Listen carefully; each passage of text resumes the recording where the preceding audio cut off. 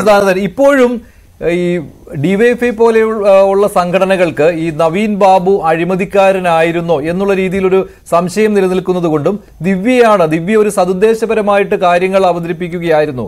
എന്ന് വരുത്തി തീർക്കുവാനുമുള്ള ഒരു ശ്രമം നടക്കുന്നുണ്ടോ? അങ്ങനെ തോന്നുകയാണ്.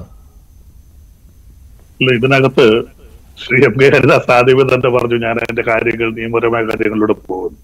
ഇവിടെ ഞാൻ ആ കാര്യങ്ങൾ തന്നെ പറയും. ഇവിടെ കേസ് ഈ സംഭവം നടന്നത് പതിനാലാം തീയതിയാണ്. നിങ്ങൾ പറഞ്ഞതുപോലെ തന്നെ സി പി എമ്മിന്റെയും ഇടതുമുന്നണിയുടെയും ചരിത്രത്തിൽ ആദ്യമായിട്ടാണ് അവരുടെ പാർട്ടിയുടെ ഒരു ജില്ലാ കമ്മിറ്റി മെമ്പർ ഒരു ജില്ലാ പഞ്ചായത്ത് പ്രസിഡന്റ് ആയിരുന്ന സ്ത്രീയെ സ്ഥാനത്ത് നിന്ന് മാറ്റുകയും അവർക്കെതിരെ എഫ്ഐആർ രജിസ്റ്റർ ചെയ്യിച്ചു. എഫ്ഐആർ രജിസ്റ്റർ ചെയ്തിരിക്കുന്നത് നമുക്കറിയാം ബി എൻ എസ് നൂറ്റിയേഴ് പ്രകാരമാണ്. പഴയ ഐ പി സി മുന്നൂറ്റി ആറ് പത്ത് വർഷം വരെ ശിക്ഷിക്കാവുന്ന കേസാണ്. പക്ഷെ ഇതിനകത്ത് നിയമപരമായ ഒരു പ്രശ്നം വളരെ പെട്ടെന്ന് ഒരു ചാർജുമായിട്ട് കോടതിയിലേക്ക് പോകാൻ പറ്റില്ല.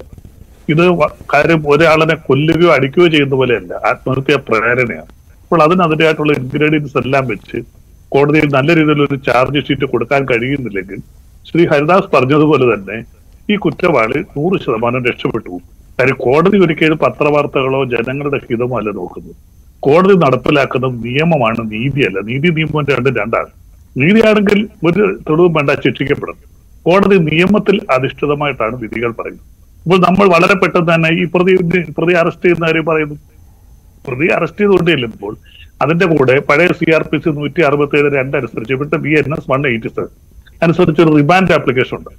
റിമാൻഡ് ആപ്ലിക്കേഷൻ ഇല്ലെങ്കിൽ പ്രതിയെ റിമാൻഡ് ചെയ്യാൻ പറ്റില്ല. ഏത് കേസിലും പ്രതിയായാലും ആ റിമാൻഡ് ആപ്ലിക്കേഷനകത്ത് പ്രധാനമായിട്ട് പറയേണ്ട കാര്യങ്ങൾ ഈ പ്രതി പുറത്തു നിന്നാൽ ഉണ്ടാകാവുന്ന കോൺസിക്വൻസ് ഒക്കെ എന്തൊക്കെയാണ്?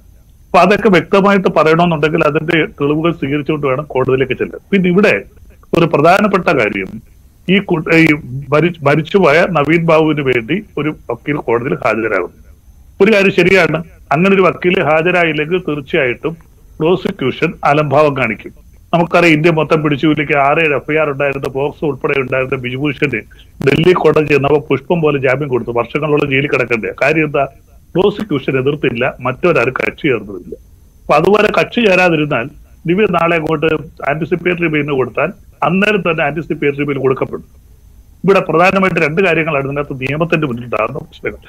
ഒന്ന് നമ്മൾ വയനാട്ടിലെ കുട്ടി മരിച്ചപ്പോൾ ഞാൻ ഇതുപോലുള്ള കാര്യങ്ങൾ പറഞ്ഞതാണ്. നിയമപരമായി ചാർജ് ഫ്രെയിം ചെയ്യുമ്പോൾ അതിന്റെതായിട്ടുള്ള അടി- അടിസ്ഥാനം ഉണ്ടായിരിക്കണം ലൂപ്പ് ഹോൾസ് ഉണ്ടാകാൻ പാടില്ല. കൃത്യമായി ചാർജ് ഫ്രെയിം ചെയ്താൽ ആ പ്രതി ശിക്ഷിക്കപ്പെടും ഇത് ആരോടാണ് ഇതൊക്കെ പറയുന്നത്? കേരള പോലീസ് ഇങ്ങനെയൊക്കെ ചെയ്യുമെന്നാണോ താങ്കൾ കരുതുന്നത്? അല്ല എത്രയോ ഉണ്ട് ഇപ്പൊ ആലപ്പുഴയിൽ നടന്ന നമുക്കറിയാമല്ലോ ഒരു രഞ്ജിത് രഞ്ജിത്ത് ശ്രീനിവാസൻ ബി ജെ പിയുടെ നേതാവിന്റെ വധക്കേസിൽ. ആ പ്രതികളുടെ ഒരാളിനെ പോലും വളരെ കറക്റ്റ് ആയിട്ട് സുപ്രീം കോടതി ഡയറക്ഷൻ അനുസരിച്ച് അന്വേഷിച്ചു. അത് ബി ജെ പിയുടെ നേതാവാണ് മരിച്ചത് വളരെ കൃത്യമായിട്ട് അന്വേഷിച്ചു. അവർ മൊത്തം ശിക്ഷിക്കപ്പെട്ടല്ലോ. ഒരാൾ പോലെ ആ കുറ്റപത്രത്തെ ഒരുപാട് അവസരങ്ങളുണ്ട്. അത് മാത്രമല്ല ഇപ്പോഴും ഈ ദിവ്യ എന്ന് പറയുന്നത് പാർട്ടി കൈവിട്ടിട്ടില്ല ശ്രീ ബലദേവ് സച്ചിദാനന്ദൻ. അങ്ങനെ ഇതുവരെ തോന്നിയിട്ടുമില്ല. ഒരു ജില്ലാ പഞ്ചായത്ത് പ്രസിഡന്റ് പദവിയിൽ നിന്ന് മാറ്റി എന്ന് പറഞ്ഞ് പാർട്ടി കൈവിട്ടു എന്നാണോ? അങ്ങനെയല്ല പാർട്ടി കൈവിട്ടിട്ടില്ല. പാർട്ടി ചേർത്ത് പിടിക്കുന്ന ഒരു നേതാവ് തന്നെയാണ്. അതുകൊണ്ടാണല്ലോ സമരം ഉണ്ടാകുമ്പോഴൊക്കെ അവരുടെ വീടിന് സംരക്ഷണം കിട്ടുന്നത്. പോലീസിന് ദിവ്യ എവിടെയാണ് എന്ന് അറിയാൻ പാടില്ലാത്തത് കൊണ്ടല്ലല്ലോ മുൻകൂർ ജാമ്യം കിട്ടട്ടെ എന്ന് കരുതി തന്നെ. ഒന്ന് ചോദ്യം ചെയ്യാൻ പോലും കഴിഞ്ഞിട്ടില്ല ഇതുവരെ. ഒന്ന് കണ്ടെത്താൻ പോലും കഴിഞ്ഞിട്ടില്ല. ഫോൺ സ്വിച്ച് ഓഫ് ആണെന്നാണ് പറയുന്നത്. അല്ല ഞാൻ അതിലേക്ക് വരാം. ഒന്നാമതായിട്ട് സാധാരണഗതിയിൽ ഒരു ആത്മഹത്യ നടക്കുമ്പോൾ ഒരു സൂയിസൈഡ് നോട്ട് ഉണ്ടാവും ഇവിടെ അങ്ങനെ ഒരു സൂയിസൈഡ് നോട്ടില്ല അദ്ദേഹം ഏതെങ്കിലും സുഹൃത്തുക്കളുടെ ഫോണിൽ സംസാരിക്കുകയോ എനിക്കിങ്ങനെ മാനസിക പ്രശ്നം ഉണ്ടായി എന്ന് പറയുകയോ വാട്സാപ്പ് മെസ്സേജുകളോ അങ്ങനെ യാതൊരു മെസ്സേജുകളും ഇതുമായി ബന്ധപ്പെട്ട ആത്മഹത്യയിലേക്ക് നയിക്കുന്ന അല്ലെങ്കിൽ പ്രേരണയിലൂടെ ആത്മഹത്യക്ക് നയിക്കുന്നതിലായിട്ടുള്ള സർക്കംസ്റ്റാൻഷ്യൽ എവിഡൻസ് ഒരു വ്യക്തി മരിച്ചു കഴിഞ്ഞാൽ പിന്നെ അവിടെയുള്ള സർക്കംസ്റ്റാൻഷ്യൽ എവിഡൻസ് ആണ്. അല്ലാതെ ഇതിനകത്ത് മറ്റ് വിറ്റ്നസ് വരുന്നില്ല. ആ സർക്കംസ്റ്റാൻഷ്യൽ എവിഡൻസ് ഒന്നും ഇതിനകത്ത് ഇല്ല. അപ്പൊ അതൊക്കെ പോലീസിന് ശക്തമായിട്ട് അന്വേഷിക്കണമെന്നുണ്ടെങ്കിൽ നിയമപരമായിട്ട് ഒരുപാട് തടസ്സങ്ങൾ അക്കാര്യത്തിലുണ്ട്. പക്ഷേ ഈ പി പി ദിവ്യ എന്താണോ പറഞ്ഞത് എന്നുള്ളത് പൊതുസമൂഹത്തിന് മുന്നിലുണ്ട്.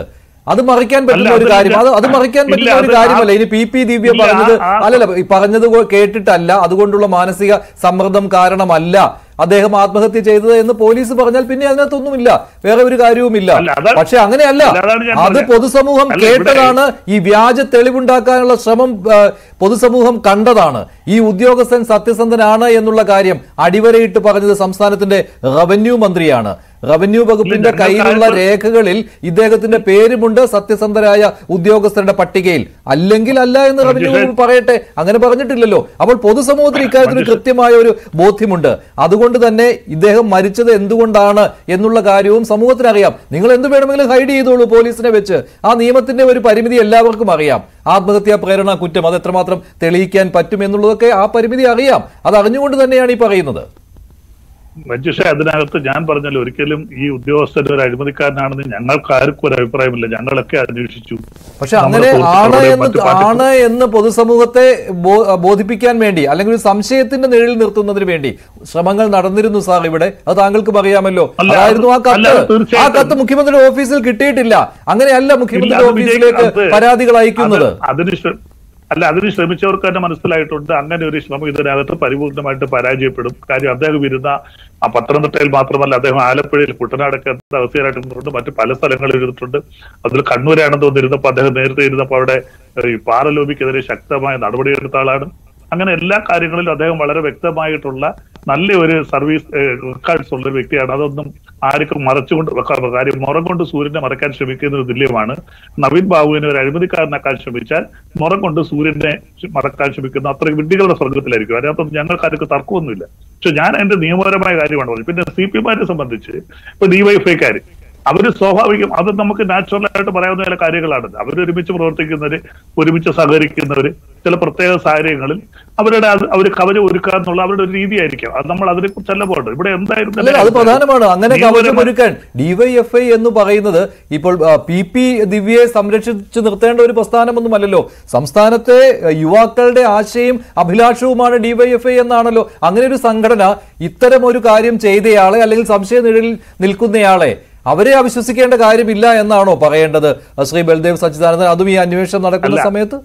അല്ല ഞാൻ പറഞ്ഞല്ലേ അതൊരു പ്രസ്ഥാനത്തിന്റെ ഒരു അവരുടെ ഒരു ഒരു അഭിപ്രായത്തിന്റെ ചിലപ്പോൾ ഒരു പറഞ്ഞ വ്യക്തിയുടെ ഒരു അഭിപ്രായത്തിന്റെ ഭാഗമായി കാരണം പാർട്ടിയുടെ സംസ്ഥാന സെക്രട്ടറിയോ കണ്ണൂർ ജില്ലാ സെക്രട്ടേറിയറ്റോ ഒന്നും ദിവ്യക്ക് അനുകൂലമായ ഒരു സ്റ്റേറ്റ്മെന്റ് പോലും നാളെ വരെ പറഞ്ഞിട്ടില്ല. ദിവ്യ അവിടെ പോയിരുന്നത് തെറ്റാണ് അവിടെ പോകാൻ പാടില്ലായിരുന്നു ഇതിനകത്ത് പ്രധാനപ്പെട്ട മറ്റൊരു വില്ലനുണ്ട് മഞ്ജുഷേരി മഞ്ജുഷേ. ആ ജില്ലാ കളക്ടർ. അദ്ദേഹം അരുൺ കെ ജയൻ. അദ്ദേഹം ആ സമയത്ത് ആ മുഖത്തോട്ട് നോക്കിയാൽ അറിയാം.